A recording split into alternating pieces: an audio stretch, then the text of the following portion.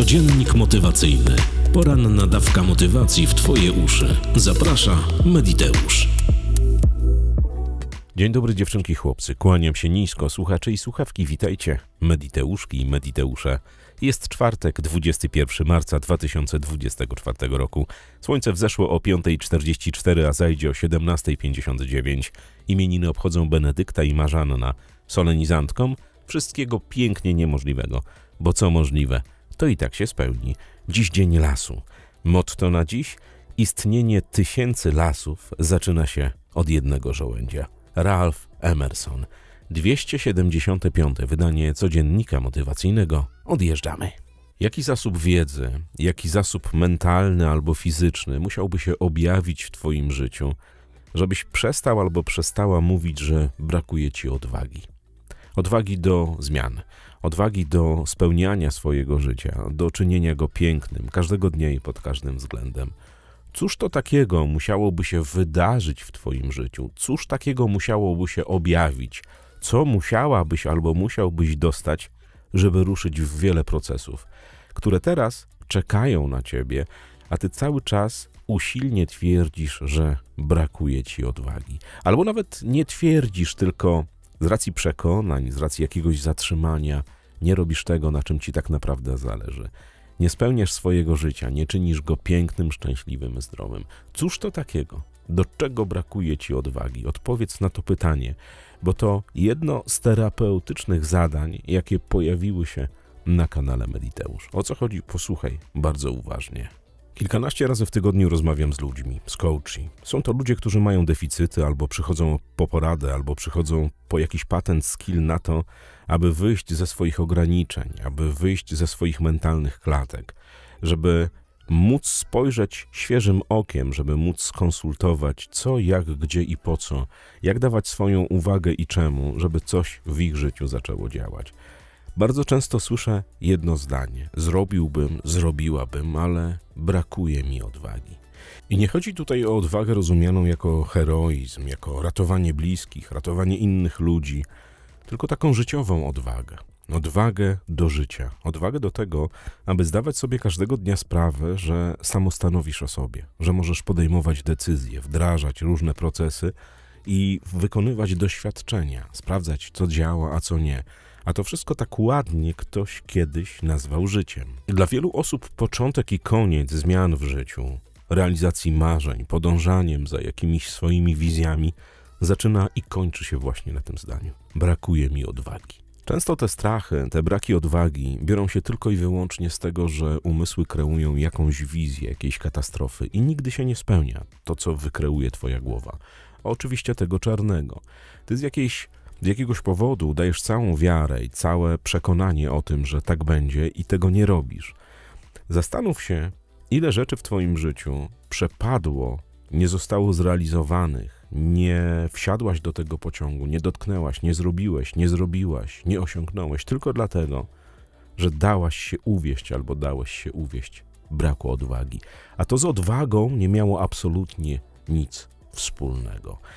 Dziś mam do ciebie takie pewno pytania, zarazem zadanie, bardzo terapeutyczne. Zastanów się, albo możesz sobie napisać, ile sytuacji w Twoim życiu, ile zdarzeń, ile nienapisanych książek, nieodbytych podróży, niezrealizowanych marzeń przepadło tylko dlatego, że ktoś kiedyś w Twojej głowie zasiał przekonanie, że nie masz odwagi, że się nie uda, nie wyjdzie, nie chcesz, nie możesz i tak dalej.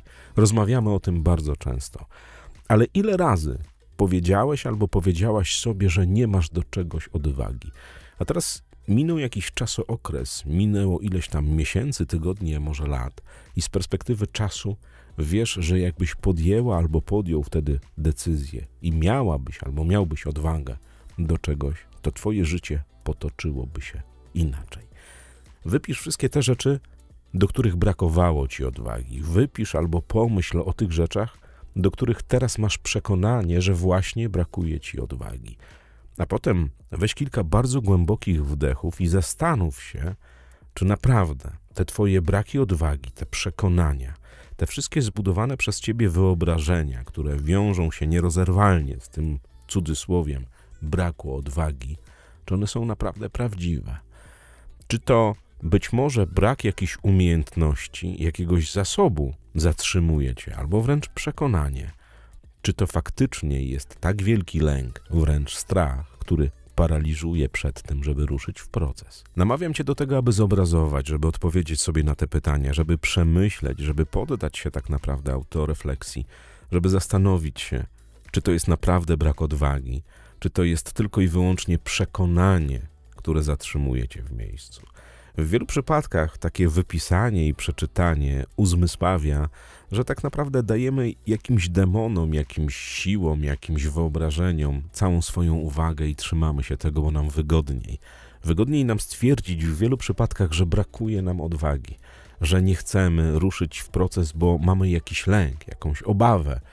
I ona nas zatrzymuje, i łatwiej uwierzyć w to, że masz obawę, że coś się nie uda, nie wyjdzie, nie kliknie, nie zadziała, niż tak naprawdę racjonalnie podejść do tematu. No bo z drugiej strony, z jakiego powodu masz mieć obawę albo przekonanie, jak nie doświadczyłeś albo nie doświadczyłeś tego, co chcesz zrobić? Rozumiesz? Znowu zadziałała iluzoria w twojej głowie. Znowu dałaś albo dałeś całą swoją uwagę myśli. Dokładnie takiej samej, jak przeciwna, o której zawsze powtarzam, mówię, namawiam. Ta myśl, że się nie uda, nie wyjdzie, nie będzie, jest dokładnie równoważna z myślą, że się uda, będzie, osiągniesz, zdobędziesz. Tylko z jakiegoś powodu, ja wiem dokładnie z jakiego, z naszej leniwej podświadomości dajesz uwagę tej, że lepiej nie zrobić niż zrobić. A teraz przez chwilę zamknij oczy. Usiądź wygodnie, weź kilka głębokich oddechów i wyobraź sobie, że masz te wszystkie zasoby. Masz pieniądze, masz przebojowość, masz pewność siebie, masz to wszystko. Generalnie jest na pstryknięcie palcami. Czy wtedy to robisz? Jak się wtedy czujesz, kiedy idziesz w te procesy? Kiedy zakładasz firmy, wypowiadasz umowę w pracy, w której jesteś mobbowana, urywasz się z toksycznego związku, zaciągasz albo spłacasz kredyt, wszystko to, co wiąże ci się obecnie z jakimś wyzwaniem, które cały czas świeci dużym czerwonym neonem. Brak mi odwagi, brakuje mi odwagi, żeby to zrobić. Zastanów się, jakie zasoby grają rolę w tym, żeby rozpocząć te procesy. Pomyśl, co będzie w Twoim życiu, kiedy przeramujesz to wszystko, kiedy schowasz te wszystkie nie chcę, nie uda się, nie będę, nie mogę i tak dalej, na te wręcz odwrotne. Uda się, zdobędę, jestem, mam, otrzymam, jestem silna, silny, zdobyłam, zdobyłem, posiadam, tworzę, kreuję, samostanowię. Jak się wtedy czujesz? Wyobraź sobie siebie, kiedy już to wszystko odpaliło, kiedy zmieniłaś, zmieniłaś pracę, osiągnęłaś, zdobyłaś, nie było tej myśli, że brakuje ci odwagi. Jak wygląda twoje życie? Opowiadam o tym za każdym razem. My jako ludzie jesteśmy przekupni. Lubimy dobrostan, kochamy dobrostan. My nie lubimy być dojeżdżani, nie lubimy być gnojeni, nie lubimy, żeby nam było niewygodnie. No chyba, że ktoś jest masochistą, na takich ludzi jest promil. Chcemy, żeby nasze życie było naprawdę piękne, żeby było spełnione, zdrowe, dostatnie, żeby, żebyśmy byli kochani, żebyśmy mogli kochać, żebyśmy mieli co jeść, czym jeździć, gdzie mieszkać, spełniać się na takiej albo innej ludzkiej niwie. Zastanów się, czy jak schowasz do kieszeni te braki odwagi, te imaginacje, które cię zatrzymują i ruszysz w te procesy i umówmy się, że te wszystkie procesy zakończą się sukcesem, to co wtedy? Postaraj się przekupić samego siebie, samą siebie i zobaczysz, że jest dużo łatwiej.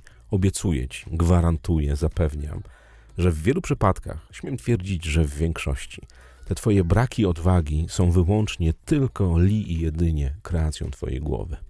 Tylko po to, żeby cię zatrzymać, no bo po co ruszyć w proces, jak to nieznane i nie wiesz, co tam się wydarzy po drodze. I tak naprawdę nie przeraża cię sam proces, samo, sam finał tego procesu, przeraża cię droga.